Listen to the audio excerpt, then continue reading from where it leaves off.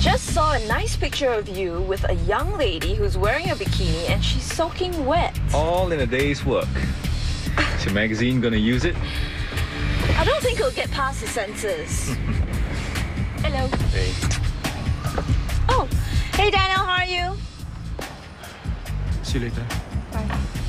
Sito. Sir. Okay, how does this work considering she ruined his wedding? I don't know. Best of friends? They didn't look like just best of friends. Maybe he hates her guts. You know, I always thought that Christine was really weak for running off like that. She should have flattened Ian with the right hook and just demanded Daniel carry on with the wedding. Well, you know, I think the wedding was a bit overwhelming for everyone, so let's just leave it at that. Ian's got a killer instinct if you ask me. Hey, who's that?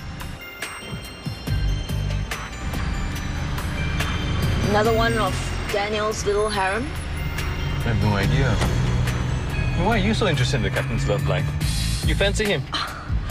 Research, my dear. I'm planning to write a book and make lots of money. And from the looks of it, maybe Daniel has his own plans too. You know, I really shouldn't read anything into that. And neither should you. Why? I'm a journalist. It's my job. Funny. Let's go eat.